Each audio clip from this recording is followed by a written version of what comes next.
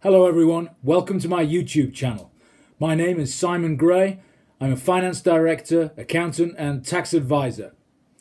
My vlogs will focus on all things financial, from investments to tax to accounts, corporate finance, and business news.